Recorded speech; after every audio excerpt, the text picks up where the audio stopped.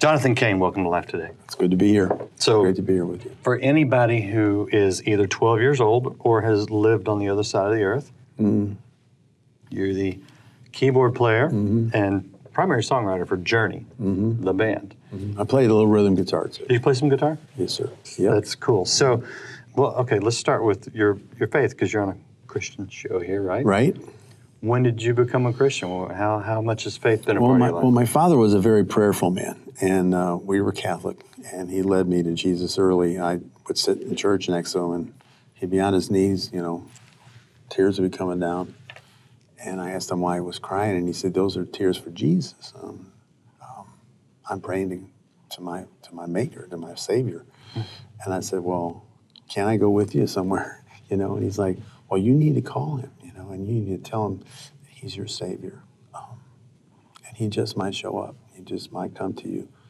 And so at very early age, I would, you know, earnestly try to call out his name and, and tell him, bless me, you know, and, and that I loved him and how he covered my father and, and how he loved him. And so a couple years later, you know, I said, Dad, is that kind of like a warm glow? You know, I'm getting ready to take my first communion, you know, and um, putting that, ho- they put that host on my tongue and I was having an out of body experience, you know. oh, wow. I went into some, I don't know, I just drifted away. So, know. so you grew up in it? I was a choir boy. Yeah. So my first music was worship music, Wow. and it was uh, Gregorian chants. So I that we we sang in Latin, an octave higher than the monks did, you know. yeah, right, right. because we had these little high voices. Uh, and it was surreal, you know, answering the priest and being part of the ceremony. So I, I declared I wanted to be a priest, you know, told everybody. And, and of course, uh, our school, we had a terrible tragedy in 1958. My school burned down next to the church that we worshiped in.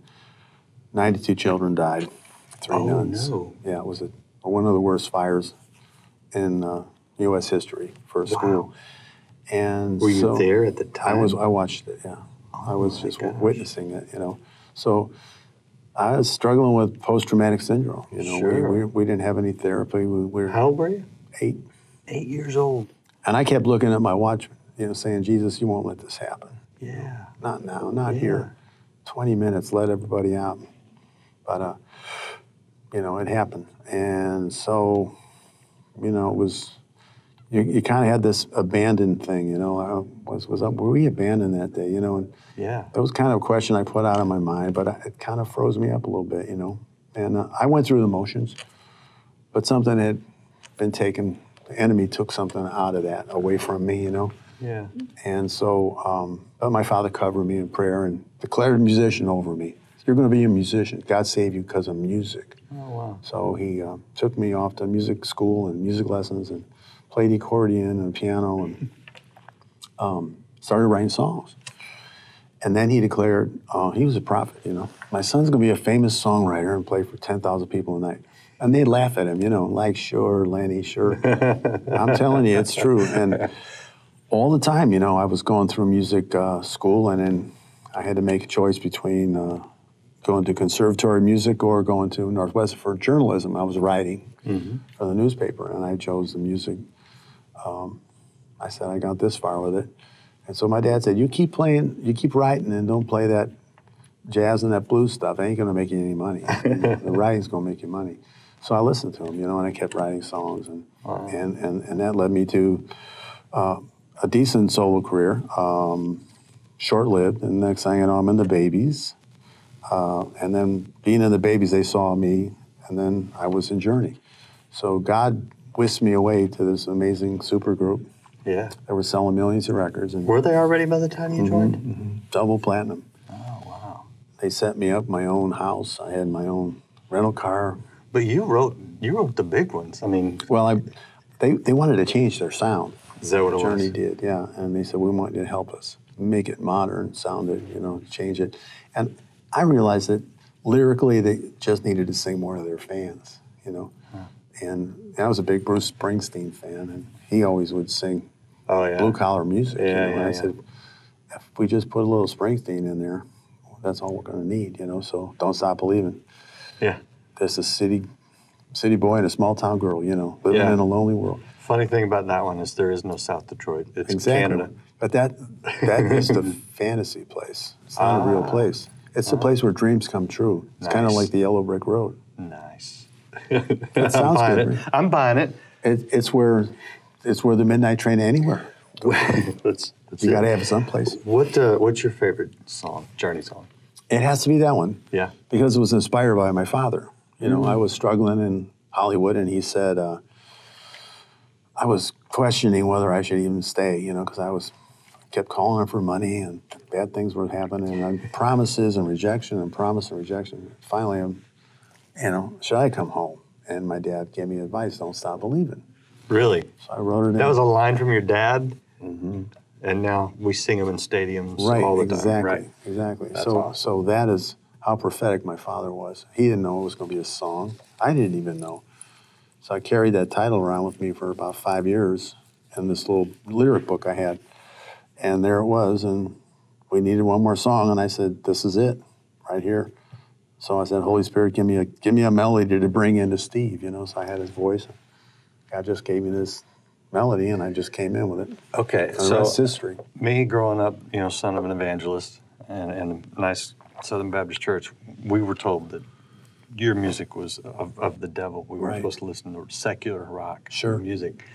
How did it work for you being someone of faith? Mm-hmm. Your dad is such a mm-hmm. strong influence. Mm-hmm. Um, because I've, I've seen some documentaries, not one on Journey, but was it the crazy rock and roll world? of- We were were we were surrounded by it, but we didn't partake in it. Okay. Um, Steve uh, was from Fresno, and that's a farm town. So a lot of innocent. He was like an innocent farm boy, really. Okay. Um, and my father, you know, had me convinced that drugs were the devil. so you guys were the goody two shoes of the rock We world. We kind of were, time. you know. We were like the Nice. band that Rolling Stone liked to hate, you know. and uh, they they wrote miserable art reviews. I don't care when, what album we released, they would just tear our stuff up and say we were never going to matter, you know. And we were disposable corporate rock, and Yeah. we were this and that, and, And now you're in the Rock and Roll Hall of Fame. and now we're in the rock and roll. And I used to say, they said, "But does it bother you, John, that they they write this stuff?" And I say, "Those that can do, those that can't review." Amen. Boom. So, what are you doing now? I mean, you guys still tour some? We I are. know we see We're you guys still around. pretty active. You know, uh, Steve left the band, um, and then the book. You know, I talk about the whole. Yep. Anybody that wants to, to know about what happened, Don't stop believing. That's it. The book. It's uh, it's not a tell-all book. Uh, it's it's a story of brotherhood and trust, and uh, and God. Uh, That's cool. Keeping His hand on us all those years. So, when Steve left, um, there was an uncertainty Yeah. that would Journey yeah, for everybody, not just the band, but for all the would fans. Journey matter without Steve Perry? You know, and and all, and then Holy Spirit said to me, "The music is bigger than all of you. The music, John, is bigger than any one of you." And I and I believed. I said, "Yeah." "So stay in there, hang in there." You know. So know, my dad, don't stop believing. My dad's gone now, eh? but I can only think three words: "Don't stop believing." and that God had to be right. You know, and for anybody that's going through any uncertainty out there right now, those are the hardest times because there's darkness all around you, and and you're just going forward because God's telling you, you know, and you don't know what's on the other side, and everybody's telling you you're out of your mind, you're crazy. What are you doing? You're uh, you're in the wrong. You shouldn't be doing this, and yet God's saying no, go. You know, and so we did, and we proved that we were right. And I worked really hard, and God sent us a guy, sounded kind of like Steve, Steve Augeri. He sounds a lot like Steve. You know, well, the first guy that came in. So, you know, in 1998, Okay. we had eight years of a guy, Steve, came from uh, uh, New York, Brooklyn. Brooklyn Steve, uh, well, two Steves. That's ironic that we get another Steve, and he leads the band, you know, out. And it's funny because we had to go back to the theaters and play the 3,000 seaters Oh, and yeah, 2,000 okay. seaters for nothing. And, and we went out for a whole winter and made nothing, but the promoters all came. And we ended the tour in Detroit, the Palace, in front of 15,000 people. Nice. And that's when it all shifted. and I knew we were on the right track. And the next summer, we were headlining with Foreigner in, in the in the Sheds for Live Nation. So, you know, we were right, and we believed that the music was bigger than any one of us, and we still do. So, um, what a blessing to have been part of those songs. You know, that's a foundation. Um, and I, I just made a covenant with God. I'm gonna, I'm gonna represent, you know, this music because What- what are the other it band- comes from God. What do the other band members think of you? Well, you know, they think I'm a little Jesus freak, maybe, you know. Yeah, good. But I don't care. Um, and in meeting Paula, you know, I, I had this unworthiness about myself. You know, I made some mistakes, stumbled along the way, midlife crisis, you know. All of us men go through. I was in a bad marriage, We all make mistakes. you know, and I was in a bad up. marriage and I was just not happy. And I met Paula on Southwest Airlines. and I asked her, she told me I didn't believe she was a pastor. Cause, and I, I right, didn't- look at her right. I had to look her up. You know? and I found out not only she's a superstar talk show host too. You know, had biggest ministry in this mega church. And, oh my God! Um, but we shared so much together. And uh, my question to her was, is it possible for me to have a relationship with Christ like I had when I was eight? Because I, I just I have a hunger in my heart. Mm-hmm. Don't know how to get back. You know, how do I get back? I was there.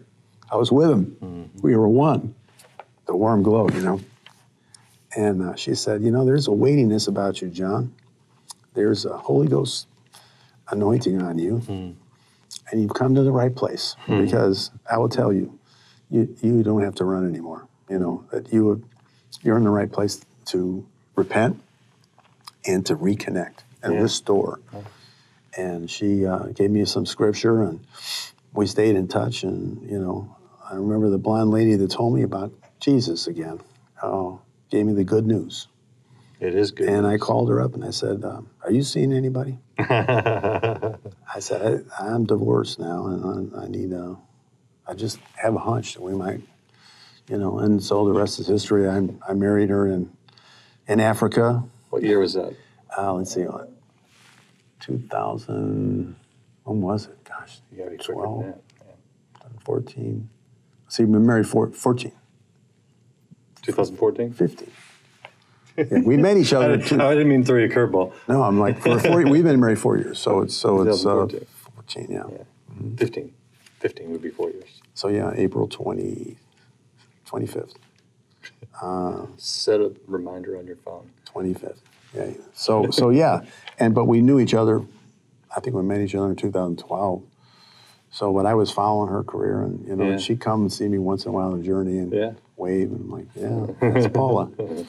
um, but I, you know, it was interesting, and I started, you know, getting back into the Bible and reading and finding places where my life, you know, I saw a lot of what God was doing, and and I started writing this book, you know, and it really was therapy for me, you know, and it showed me how God had planned so much of my career out for me, you know, and how Yeah. blessed I was Yeah, he, he knew. at every step, you know, giving me a father that just like the most amazing father, Yeah, you know. And then when he passed, how the Holy Spirit came to me and said, "It's all me, John. It's always been me, through him," you know. And I'm like, "Oh my gosh."